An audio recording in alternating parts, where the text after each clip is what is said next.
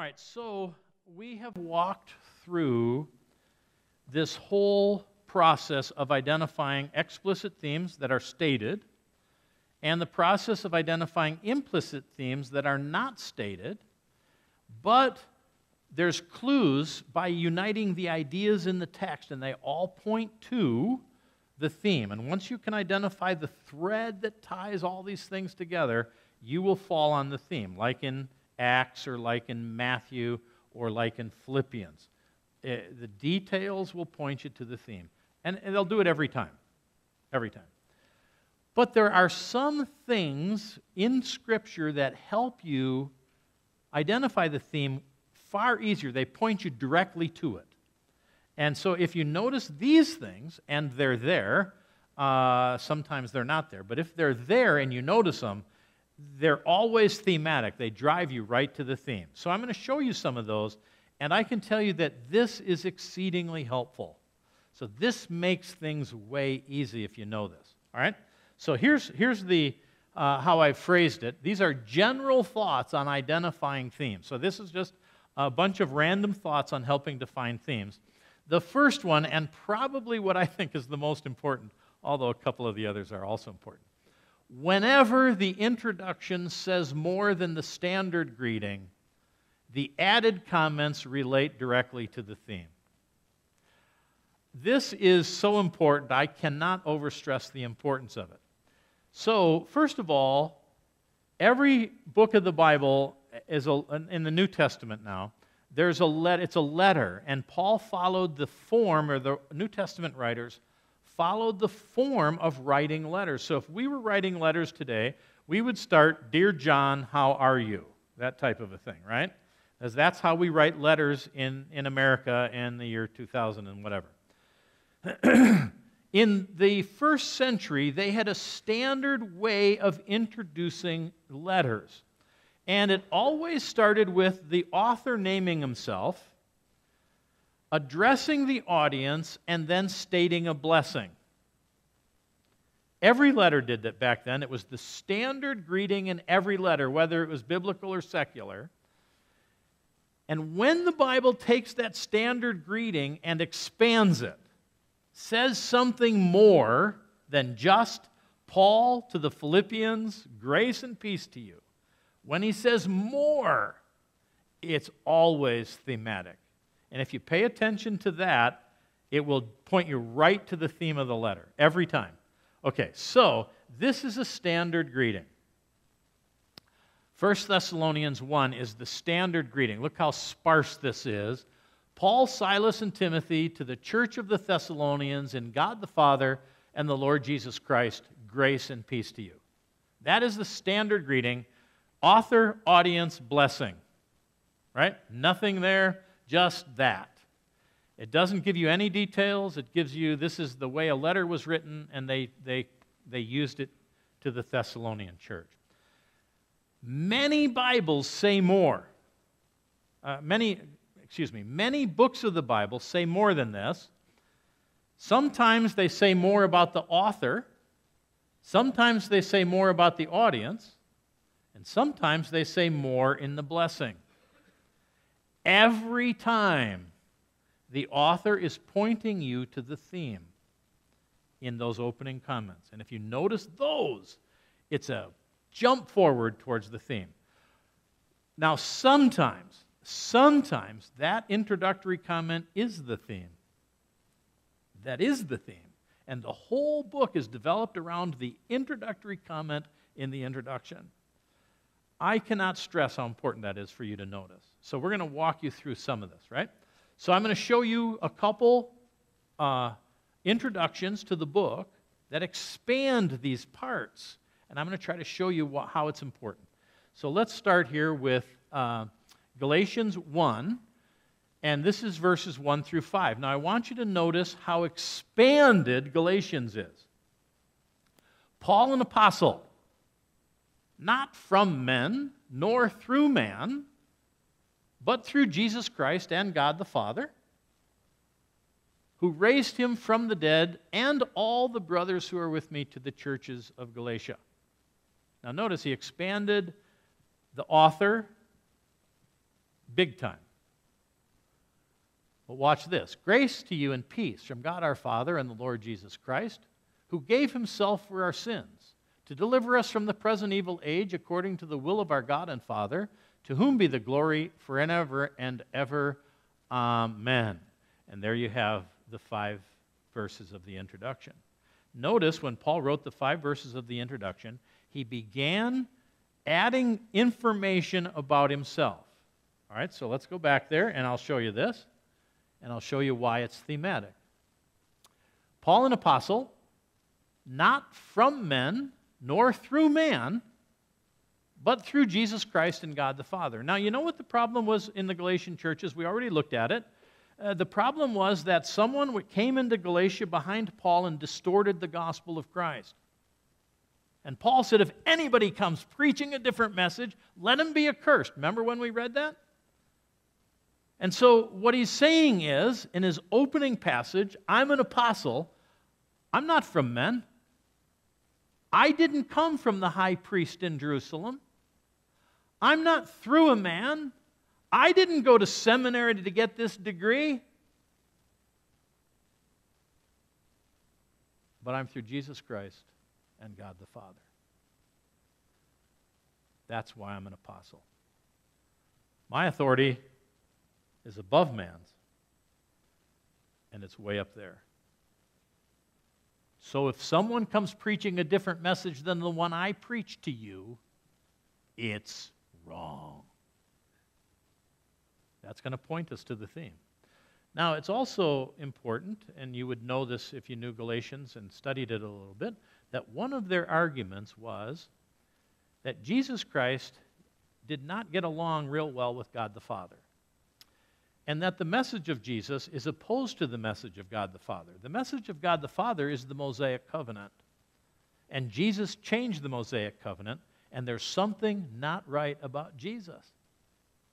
So when Paul says, I'm a messenger of Jesus Christ, he also adds the statement, and God the Father. I didn't come just from Jesus in opposition to the Father. I came appointed from Jesus and the Father. Now, that's going to fit into the theology of the book. And he introduces himself that way, and in such a way that if you were if you know what's coming up, that makes perfect sense. But if you were reading it for the first time, that becomes important to say, oh, there's an issue about who sent Paul and, and what Paul's message is and where it came from. And that's the book of Galatians. All right, so then notice uh, it, the end says, Who raised him from the dead? It's, it's, it's not only that God the that God and Jesus are working together, but God raised him from the dead. Why would God raise Jesus from the dead if God didn't like Jesus? You know, the proof of the resurrection of Jesus is that God accepted his work. And, and if God didn't accept his work, Jesus would still be in the grave. So you can't tell me Jesus and the Father are working contrary to each other. The Father raised him from the dead. It's the gospel, the death and resurrection of Jesus. And the Father is promoting the gospel. Don't let anyone tell you otherwise. That's a huge point. And then it's to the churches of Galatia Grace to you and peace from God our Father and the Lord Jesus Christ. There you have it combined again, twice in these first opening verses. It's the Father and the Lord Jesus Christ working together. A key element in the argument of Galatians. Now, watch this argument of Jesus, who gave himself for our sins to deliver us from the present evil age. Now, watch, according to the will of our God and Father, to whom be the glory. And Paul tacks on the end, it was God's will that Jesus was doing this. And he attaches that here too. But he makes an important statement who gave himself for our sins to deliver us from the present evil age. You know what the argument was of many of those legalizers? Okay, it's okay if you believe in Jesus. That's, that's okay. But if you don't believe in Moses, you can never be delivered from sin. because God gave the law to keep you from sinning.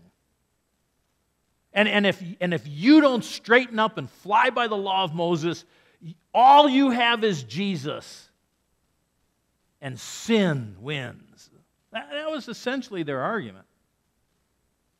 And he, Paul, in his introduction, says, No, wait a minute.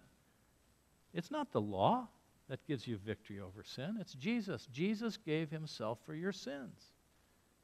How do you get forgiven? Through circumcision?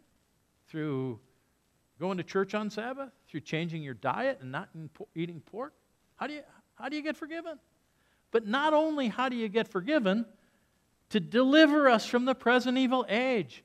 What's God's answer to the spiritual victory we're looking for in life? Is it the law of Moses? Does God tell you as a Christian, you believe in Jesus, you become a Christian, and now you follow the law of Moses to live righteously? Is that the message? Most certainly not. That is not New Testament Christianity, and we cannot believe it.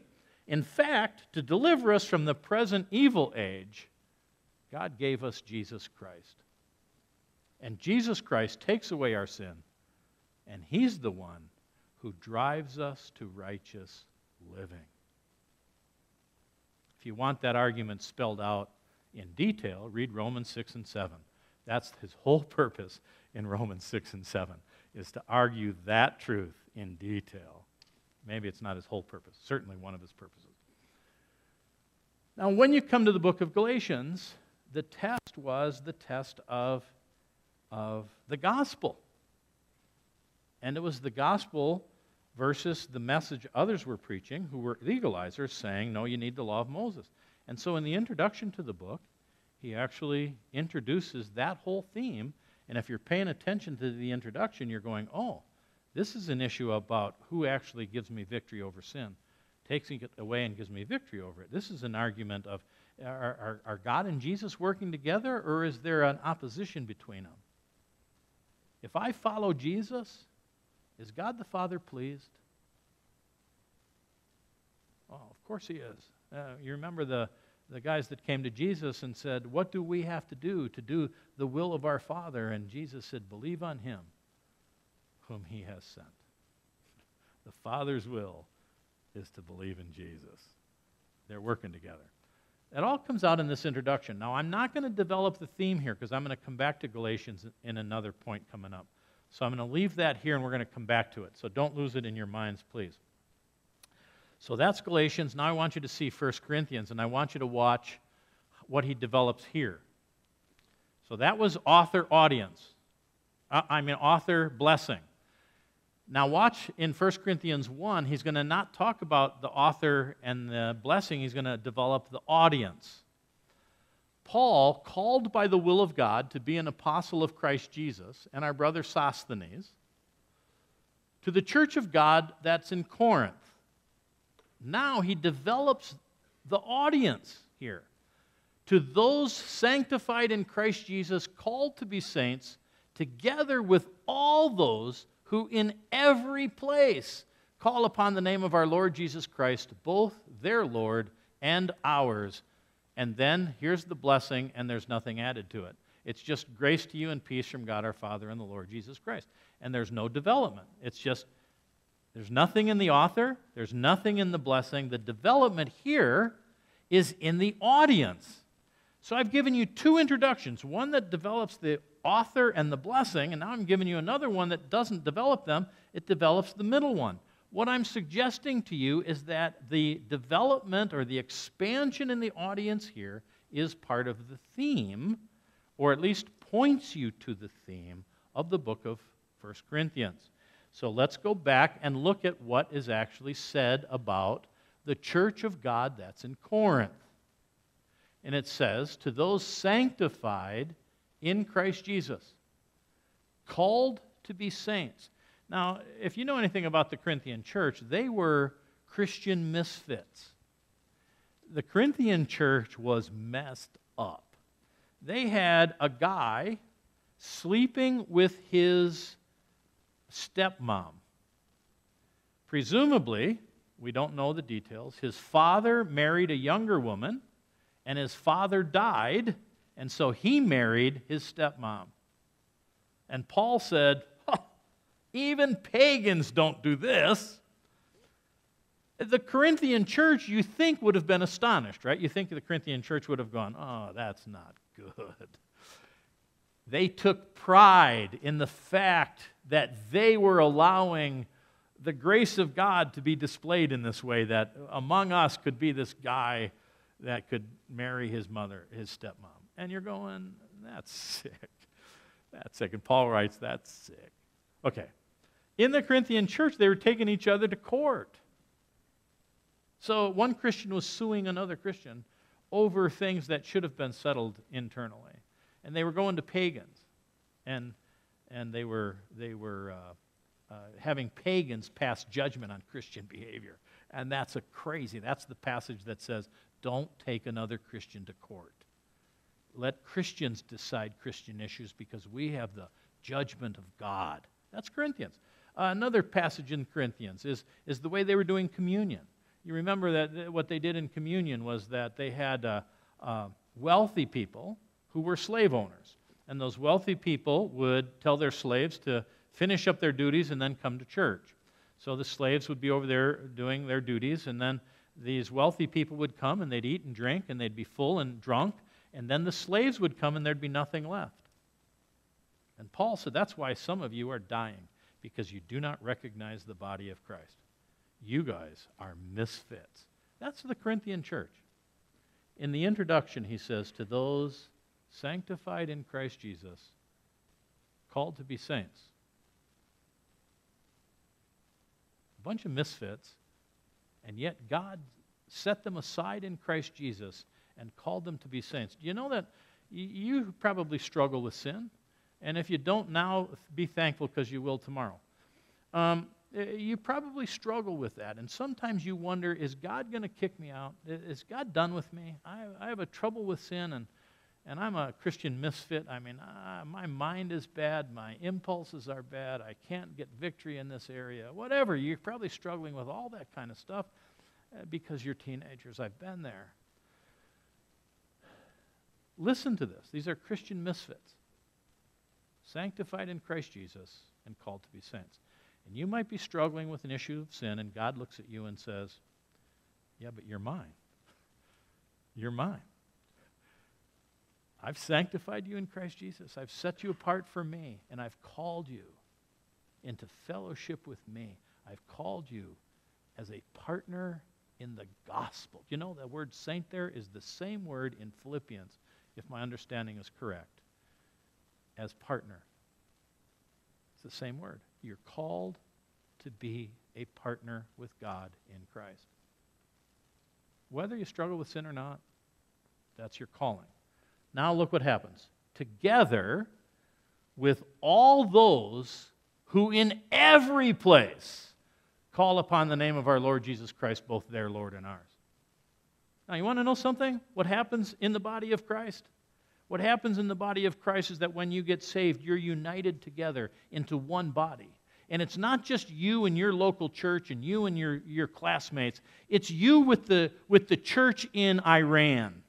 And it's you with the church in Bolivia. And it's you with the church in Omaha. You're united together with, with, with who in every place call upon the name of our Lord Jesus Christ when God saves your soul, He brings you into the body of Christ and He unites you together as one, not only with each other, but with me who you've never met,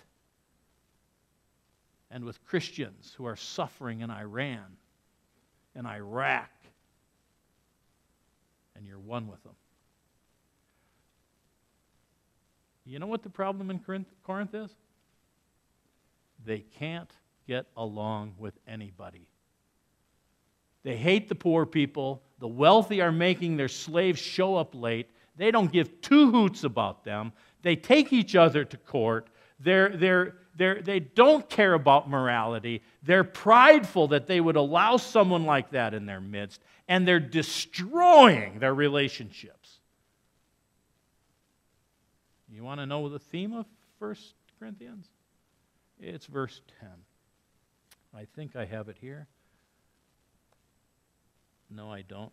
I'm going to look it up. 1 Corinthians 1:10 is the theme. Now watch how this introduction points to this theme. So 110 says this I appeal to you, brothers and sisters, in the name of our Lord Jesus Christ, that all of you agree with one another in what you say, and that there be no divisions among you, but that you may be perfectly united in mind and thought. And the book develops that concept all the way through. Let's agree together in the Lord. And if that's the case, I can never take you to court.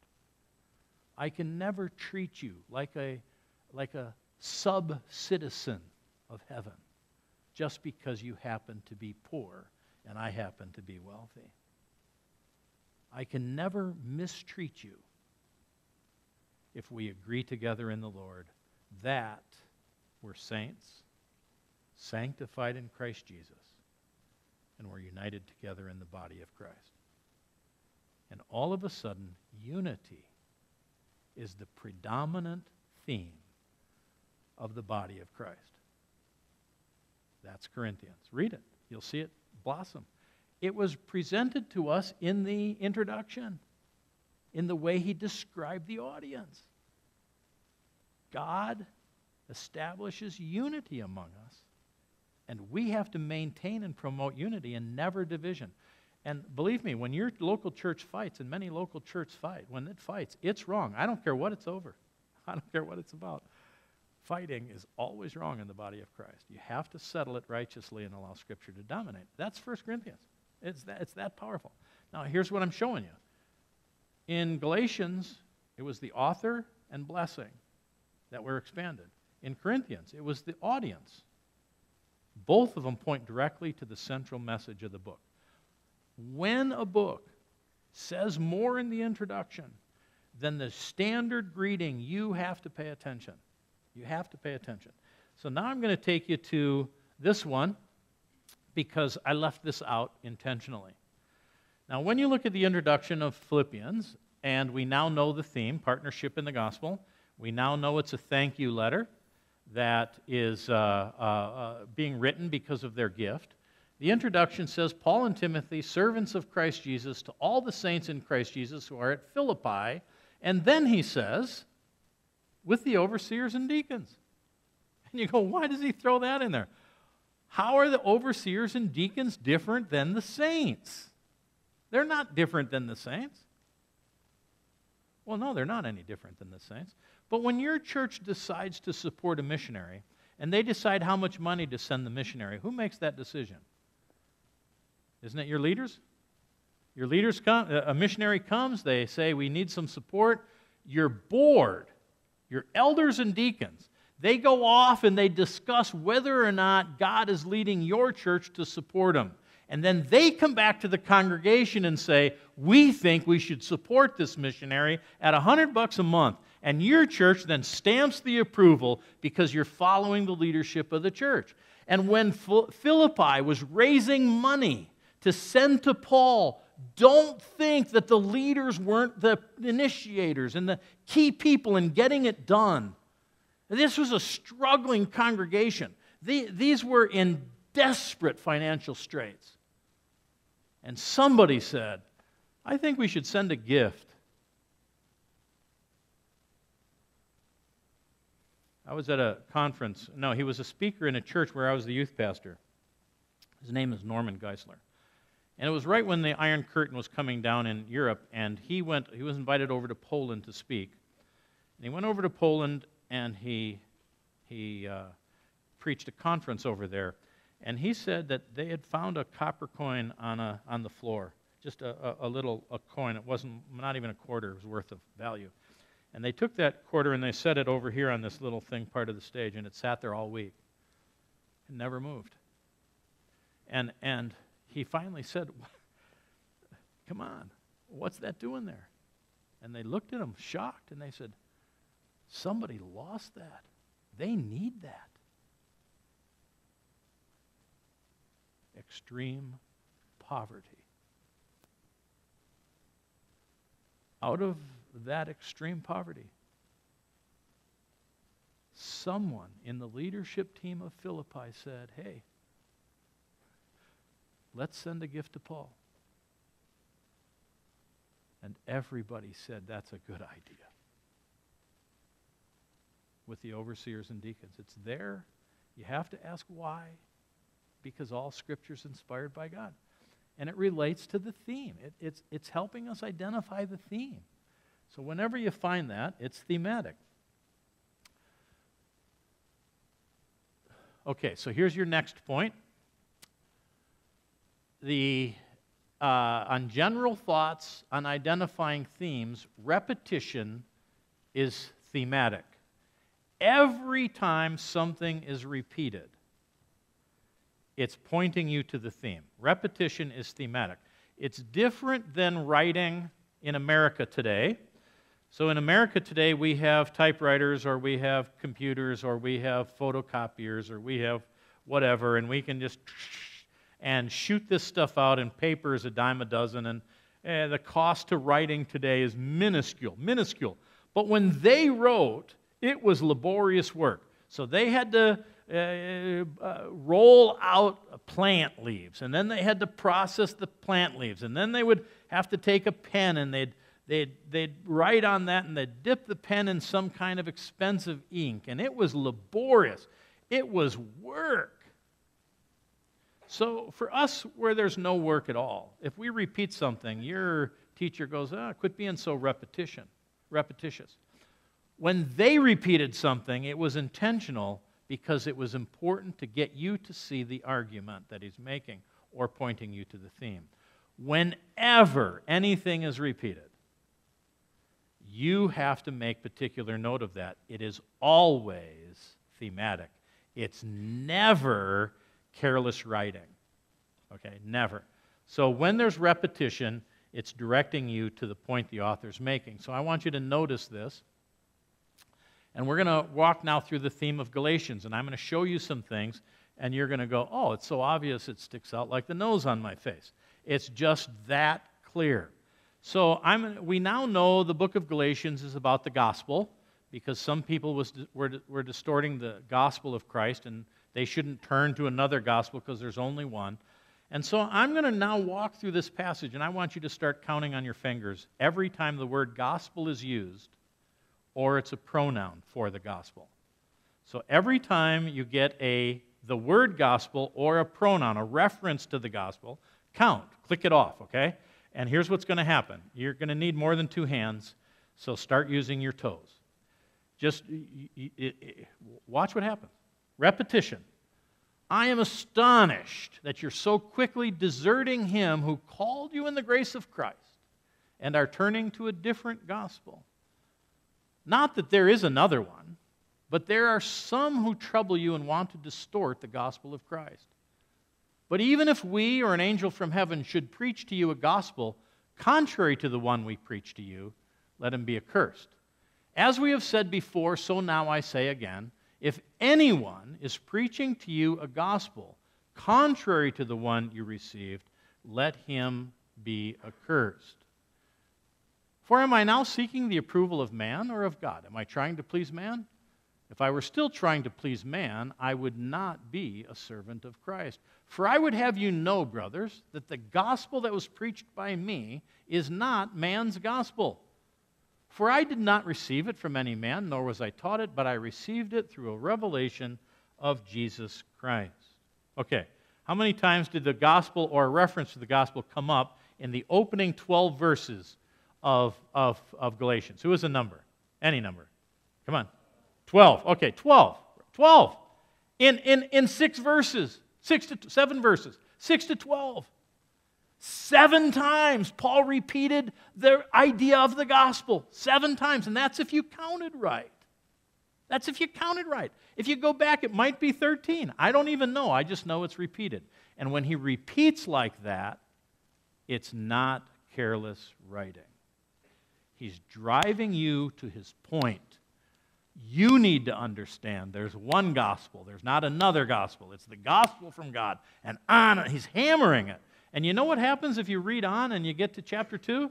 here's what happens in chapter 2, and here's where you can identify precisely the theme of Galatians. So, in chapter 2, as part of his discussion there, when he took Titus, who was an uncircumcised Gentile, to Jerusalem, to a council in Jerusalem before Peter, John, James, right? He took him to that council and said, Does Titus need to be circumcised? That was the question. Titus is a Gentile believer. He's a teaching of the Word of God, uh, a teacher of the Word of God. Does he need to be circumcised? And then he took him there, and this is part of his argument. To them we did not yield in submission even for a moment, so that the truth of the gospel might remain with you. And the gospel now, now takes on definition. The gospel has turned into the truth of the gospel. And then he repeats that in verse 14. And he was addressing Peter directly. And he was talking to Peter. Peter messed up, and he said, But when I saw that their conduct, that's including the Apostle Peter, when Peter was not in step with the truth of the gospel, Paul goes on to say, I confronted him to his face. You know what Peter did? There were people, he came to, to Galatia, uh, I, I, I, I don't know where he came. But people from Jerusalem followed him there. And when they got there, he no longer would eat in, in, in Genti- with Gentiles. He separated himself with the rest of the Jews. So the Jews came from Jerusalem and they had their own table over here. And they sat here as a bunch of Jews because of the Gentiles. And Peter, who was eating with them before they came, decided, well, I better eat with these guys because these are the Jewish Christians. And Paul went, Peter, what are you doing? The truth of the gospel is that Gentiles receive the Holy Spirit just like we did. That's the whole book of Corinthians. Together in every place with all those who call on the name of the Lord Jesus. Peter, you are wrong. Do you know that every time you divide with another believer, you're not walking in step with the gospel. Every time. I don't care how you fight. The fight's wrong. Isn't that amazing? It's, that's awesome. Repetition. So 12 times you get into chapter 2 and he defines it, he, he narrows it down. This gospel message gets narrowed down to what is the truth of the gospel. And I suggest to you that that's the theme of the book of Galatians. So you might phrase it around the truth of the gospel, or you might phrase it around justification by faith alone. Uh, no law added, no works added, but that's kind of the, the, the message of the book. Okay, so now I'm going to take you to repetition in an Old Testament book. I haven't done this yet. Let's see, it's 126. We're an hour in. Um, you ready for a 10 minute break? Okay, everybody, you get a 10 or 15 minute break. And we'll come back to this and I will develop this further. Uh, again, boy, you guys are troopers. Thanks a lot.